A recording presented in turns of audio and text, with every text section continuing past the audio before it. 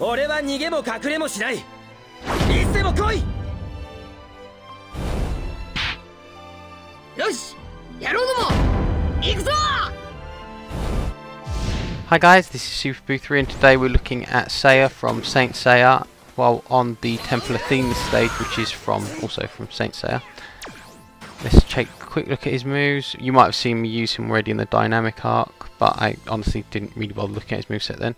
So we've got the weak attack and strong attack strings, his area attack, guard break,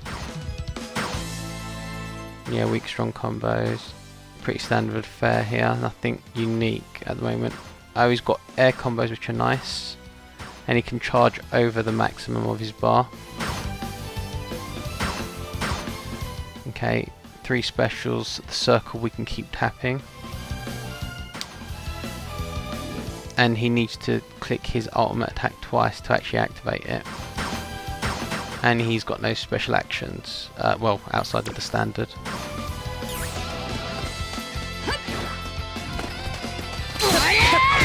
This is the square chain. Uh, that seems to end on what I think is his up circle, although I'll just test that out now. Whoops. This is his up circle. Yes, the same thing.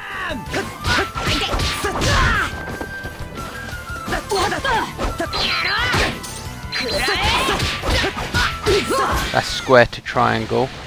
I think what I did a second ago was actually his uh, air combo with the square button, but I'm not 100% sure. I'll just double check that later. That's triangle to square.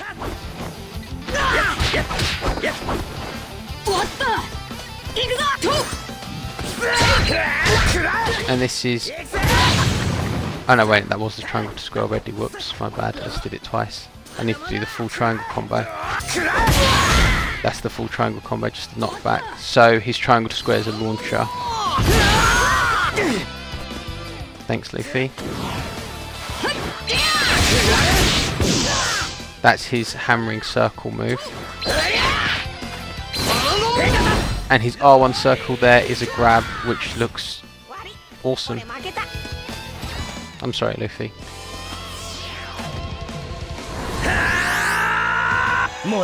I'm just going to see if I can charge up to his maximum. He transforms. Although I've actually just seemed to very much annoyed Luffy doing that. Alright, R1 square. Okay, that does not seem like a very good attack. You press it once and he actually does two kicks. That just is going to leave you wide open if you whiff it.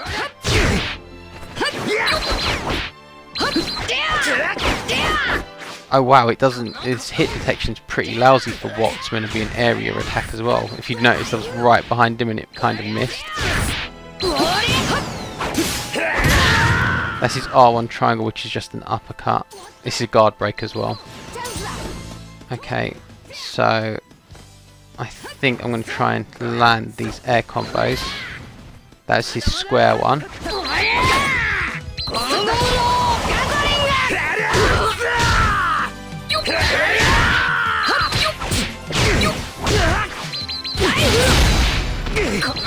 Okay, that didn't end well.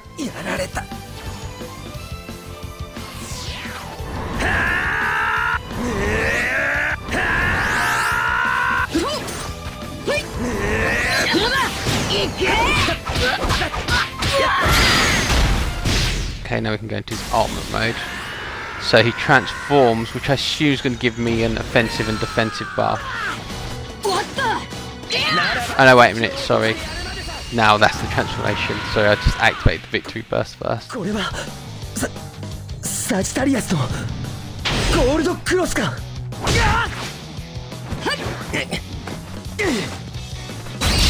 Luffy seems to be lagging it and aware of the danger. That seems to do decent amount of damage.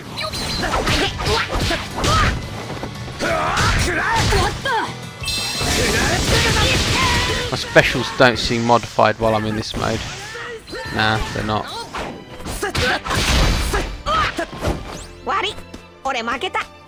Yeah, he's got he, he's got a decent enough move set. I'm just going to finish the round now. Um, I'll see if I can use the launcher to get some of these other moves in on him now. No!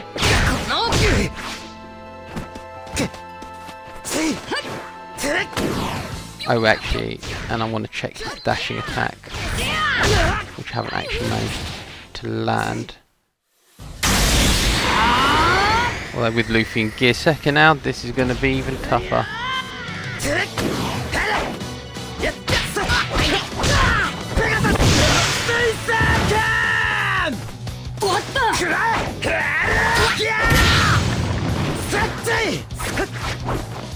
I think air combos are generally dreadful. I don't, I don't see how else I could have timed that jump to not just completely missing there.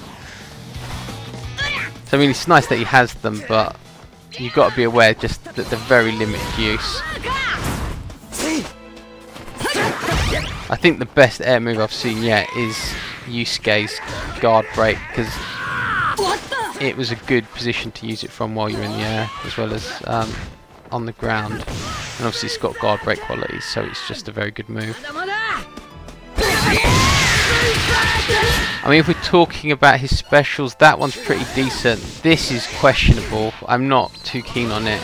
And I guess it's nice to have an actual grab. It's probably better than having the counter because a lot of the ones with the counter I do question the use of that. Anyway guys, thanks for watching and until next time, bye.